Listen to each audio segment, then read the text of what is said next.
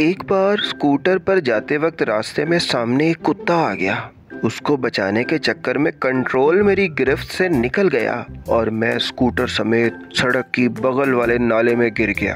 बड़ी मुश्किल के बाद जैसे तैसे मैं नाले से बाहर निकला तो देखा कि एक खूबसूरत खातून अपनी कार रोके मेरी तरफ़ देख रही थी। उन्होंने पूछा, कहीं लगी तो नहीं? नहीं नहीं, मैंने जवाब दिया, मेरा घर नज़दीक ही है। उन्होंने कहा, चलो कपड़े साफ़ कर लो और थोड़ा आराम भी कर लो।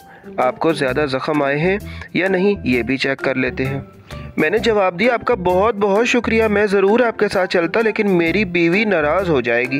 आप बिल्कुल टेंशन ना लें। मैं एक डॉक्टर हूँ। चलिए, उन्होंने ज़ोर देकर कहा। मैं देखना चाहती हूँ कि कहीं आपको फ्रैक्चर तो नहीं हुआ है।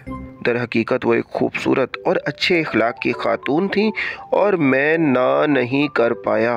मैंने कहा, ठीक है, मैं आ रहा हूँ, लेकिन मुझे यकीन है कि मेरी बीवी ज़रूर नाराज़ हो जाएगी।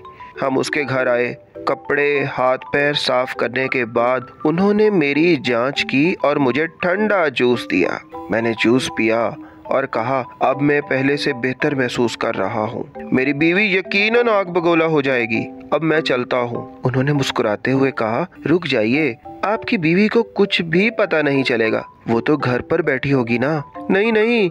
शायद वो अभी भी नाले में ही होगी।